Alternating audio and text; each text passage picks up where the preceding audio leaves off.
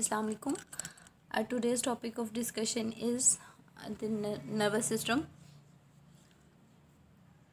nervous system nervous system is basically the master controlling and communicating system of our body nervous system basically control and coordinates all the essential function of the body nervous system में हमने start किया था पहले neurons को तो nervous system की जितनी भी फंक्शनिंग है वो सारी न्यूरॉन्स के ऊपर डिपेंड कर रही होती है, ठीक है? उसके बाद हमारे पास आता है कि नर्वस सिस्टम की ऑर्गेनाइजेशन कौन कौन सी हैं नर्वस सिस्टम वर्क कैसे करता है? हमने कहा कि ये major communicating and controlling system है हमारी बॉडी का और तमाम एसेंशियल फ़ंक्शंस को कंट्रोल कर रहा होता है। देन हाउ इट वर्क्स जैसे कोई भी स्टिमुलस या कोई भी इनपुट रिसीव होगा तो क्या होगा? सेंसरी न्यूरॉन्स जिन्हें हमने कहा था afferent neurons sensory neurons या ए फेरन न्यूरॉन्स पीएनए से मैसेज कन्वे करेंगी सेंट्रल नर्वस सिस्टम तक। सेंट्रल नर्वस सिस्टम उन इंफॉर्मेशंस को या उस मैसेज को प्रोसेस करेगा इंटीग्रेट करेगा, इन इंफॉर्मेशंस को एक रिस्पॉन्स को इनिशिएट करवाएगा। वो रिस्पॉन्स आगे मोटर न्यूरॉन्स या ई फेरन न्यूरॉन्स के थ्रू आउटपुट की फॉर्म में ज़ाहिर होगा या प्रोड्यूस होगा। Like in in the case of this stimuli the response will be running or running is done by the skeletal muscles or uh, via cardiac muscles and smooth muscles and glands. It might be tachycardia और heart beat जो है वो तेज़ हो सकती है increase heart beat in the case of this stimulus ठीक है ये हमने पढ़ी है प्रॉपर उसकी ऑर्गेनाइजेशन के नर्वस सिस्टम काम किस तरह से कर रहा है। उसके बाद हमारे पास आती हैं ऑर्गेनाइजेशंस नर्वस सिस्टम की बेसिकली टू मेन ऑर्गेनाइजेशन होती हैं टू मेन ऑर्गेनाइजेशन में जो फ़र्स्ट ऑर्गेनाइजेशन है वो होती है सेंट्रल नर्वस सिस्टम की। और सेंट्रल नर्वस सिस्टम में बेसिकली जो ऑर्गन्स इन्वॉल्व होते हैं, जो पार्ट्स इसके आते हैं, वो है at first brain at second spinal cord brain और spinal cord basically command centre होते हैं या फिर इंटीग्रेटिंग सेंटर होते हैं होल बॉडी का, जितनी भी मैसेजिंग हो रही होती है, ठीक है? सेंसरी इनपुट को ये इंटरप्ट करते हैं इंटीग्रेट करते हैं और उसके अलावा मोटर न्यूरॉन्स को या ई फेरर न्यूरॉन्स को ये डिक्टेट कर रहे होते हैं कि आपने क्या काम परफॉर्म करवाना है। सेकेंड डिवीज़न जो होती है सेकेंड ऑर्गेनाइजेशन नर्वस सिस्टम की वो होती है peripheral nervous system peripheral nervous system जो है बेसिकली एक्सटेंड करता है ब्रेन और स्पाइनल कोड से और इम्पल्सिस को कैरी करता है सीएनएस से भी from and to the CNS ठीक है? अगर ये काम करेगा विया सेंसरी न्यूरॉन्स और नर्व फाइबर्स तो ये इन्फॉर्मेशन कन्वे करेगा पीएनएस से सीएनएस तक। लेकिन अगर ये काम करेगा विया मोटर न्यूरॉन्स देन ये सेंसरी इन्फॉर्मेशन देन ये इन्फॉर्मेशन लेगा सेंट्रल नर्वस सिस्टम से और पेरिफेरल नर्वस सिस्टम तक लेके जाएगा, ठीक है? उसके बाद हमारे पास आते हैं peripheral nervous system peripheral divisions peripheral divisions में उन्होंने कहा है कि टू फंक्शनल सब डिवीजन्स होती हैं पेरिफेरल नर्वस सिस्टम की वही चीज़ रिपीट हो रही है। फ़र्स्ट जो होती है सेंसरी डिवीज़न होती है, जिसे हमने एफेरन डिवीज़न भी कहा है, या एफेरन न्यूरॉन्स जो काम करते हैं, क्या करते हैं? पेरिफेरल नर्वस सिस्टम से मैसेज लेते हैं और सेंट्रल नर्वस सिस्टम तक लेके जाते हैं, ठीक है? वहाँ पे जाके क्या करते हैं? Peripheral nervous system peripheral nervous system में जो ऑर्गन्स इन्वॉल्व होते हैं बेसिकली वो हैं मसल्स हैं ग्लैंड्स हैं ब्लड वेसल्स हैं और तमाम सेंसरी ऑर्गन्स हैं। वहाँ से इन्होंने इन्फॉर्मेशन रिसीव करनी है और सेंट्रल नर्वस सिस्टम तक लेके जानी है, ठीक है? अब इन्होंने यहाँ पे डिवीज़न दी हुई है ए फेरन डिवीज़न ए फेरन डिवीज़न में दो न्यूरॉन्स हैं, दो नर्व फाइबर हैं। फ़र्स्ट जो हैं वो स्मेटिक हैं, दूसरे विसरल हैं। विसरल वो होते हैं जो इनवॉलेंट्री फ़ंक्शंस को कंट्रोल कर रहे होते हैं, उन इम्पल्सिस को कन्वे करते हैं जो कि विसरल ऑर्गन्स से मिलती हैं और स्मेटिक जो होते हैं, वो स्किन मसल्स और जॉइंट लाइक वॉलेंट्री मूवमेंट्स को कंट्रोल करवा रहे होते हैं। उसके बाद हमारे पास आती है motor division motor division basically इसे हम ईफेरन डिवीज़न भी कहते हैं, ठीक है? और नर्व फाइबर जो हैं, वो इम्पल्सिस को कन्वे करते हैं सीएनएस में से पीएनएस तक, ठीक है? उसके बाद ये दिखाया गया है कि किस तरह से नर्व इम्पल्सिस जो हैं वो बॉडी के अंदर या ब्रेन या सीएनएस तक पहुँच रही हैं मूव किस तरह कर रही हैं, इनकी ट्रांसमिशन किस तरह से हो रही है, ठीक है? उसके बाद हमारे पास आती हैं सेंट्रल नर्वस सिस्टम की डिवीजन्स में सबसे नर्वस सिस्टम की डिवीजन्स में सबसे पहले सेंट्रल नर्वस सिस्टम की डिवीज़न ठीक है? सेंट्रल नर्वस सिस्टम बेसिकली जो compose it compose of brain and spinal cord वो हमें पता है। और उसके बाद क्या चीज़ आती है कि ब्रेन ब्रेन क्या है? Brain constitute about one fiftieth of the body weight ठीक है? और ये क्रेनियल कैविटी के दरमियान पाया जाता है और ब्रेन के जो मेन पार्ट्स होते हैं, उनमें सेरिब्लम सेरिब्रम सेरिब्लम और ब्रेन स्टेम आता है, ठीक है? उसके बाद parts of the brain parts of the brain में ह्यूमन ब्रेन जो है, वो बेसिकली तीन पार्ट्स में, तीन मेन पार्ट्स में डिवाइड किया गया है, उनकी फंक्शनिंग की बेसिस पे और उनकी प्लेसमेंट की बेसिस पे, ठीक है? फ़र्स्ट पार्ट जो होता है, वो फोर ब्रेन होता है then comes the mid brain then comes the hind brain ठीक है? सबसे पहले हमारे पास आता है फोर ब्रेन फोर ब्रेन जो है इंटीरियर मोस्ट पार्ट होता है ब्रेन का, और इसके तीन मेजर कंपोनेंट्स होते हैं, तीन पार्ट्स होते हैं. At first cerebrum then comes the thalamus and the last part is the limbic system ठीक है cerebrum thalamus and the limbic system at first we will discuss about the thalamus.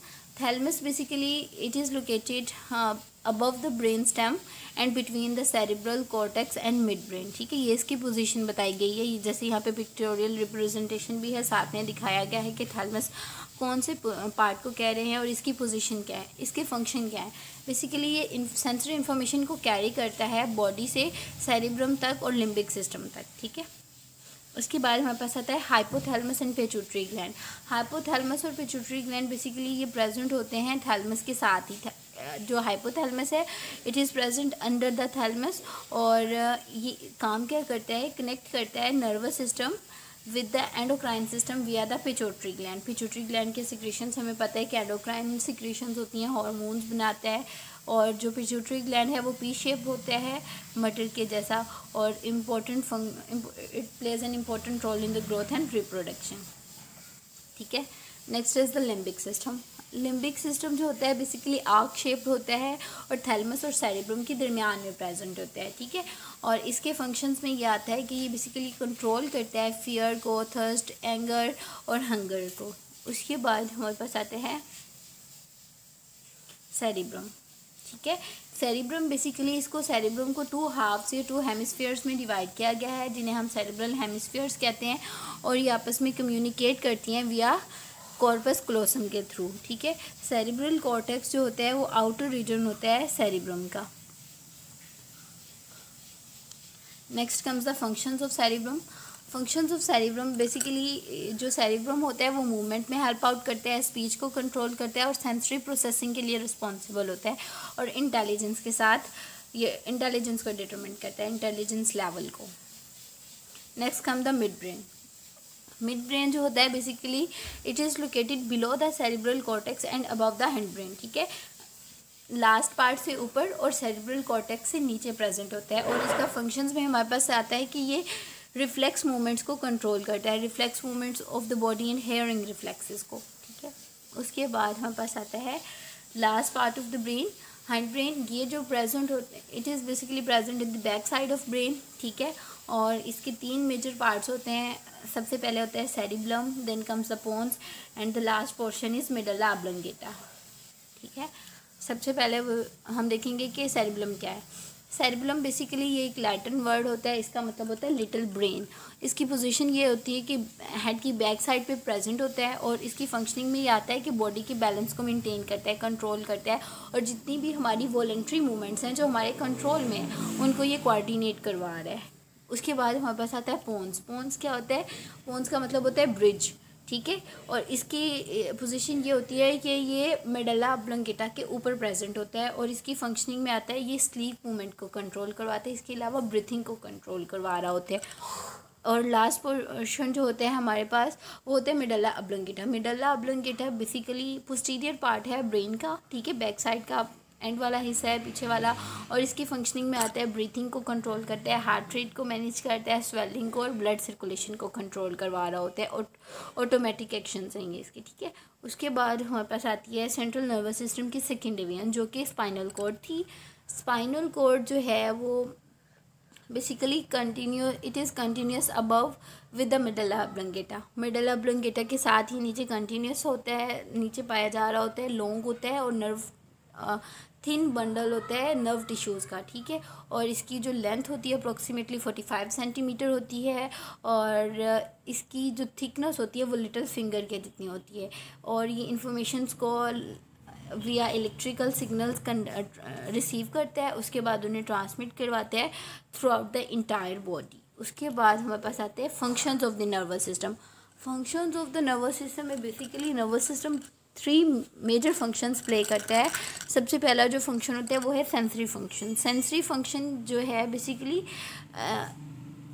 sensory system uses its million of sensory neuron sensory receptor to monitor the changes occurring both inside and outside the body हमें पता है कि sensory neurons होते हैं, जिनका other name एफेर फेरन neurons होता है वो जो है, वो मैसेज इनको कन्वे करते हैं P N S C N S तक, फिर उसके बाद एक स्टिमल आई या एक रिस्पॉन्स प्रोड्यूस होता है, जिसे हम सेंसरी इनपुट कहते हैं। इंटीग्रेशन फ़ंक्शन जो होता है कि जो इन्फॉर्मेशन रिसीव हुई है, उसमें चेंजिंग ला के एक रिप्लाई या फिर एक मैसेज प्रोड्यूस करना, ठीक है? उसे हम कहते हैं इंटीग्रेशन का प्रोसेस और मोटर फ़ंक्शन बेसिकली ये होता है कि नर्वस सिस्टम सेंड करता है इंफॉर्मेशन को मसल्स में ग्लैंड्स में organs muscle gland blood vessels sensory organs ये सारे ई फैक्टर ऑर्गन्स हैं। वहाँ तक इंफॉर्मेशन को पहुँचाता है और जो रिस्पॉन्स प्रोड्यूस होता है, उसे हम मोटर फ़ंक्शन कहते हैं। अगर किसी मसल तक गया है तो हो सकता है मसल स्ट्रेचिंग हो बेंडिंग हो कंट्रैक्शन हो, अगर किसी ग्लैंड तक गया हो रिस्पॉन्स क्या हो तो हो सकता है किसी ग्लैंड की सिक्रीशन हो। इसे हम मोटर फंक्शनिंग कहते हैं। This is the pictorial representation of the divisions of nervous system. ठीक है? सेंट्रल नर्वस सिस्टम होते हैं पेरिफेरल नर्वस सिस्टम होता है और ये थिन जो इलोंगेशन है एक्सटेंशन है, इसका नाम स्पाइनल कॉर्ड है। ठीक है? Thank you this was all about our today's lecture अल्लाह हाफिज़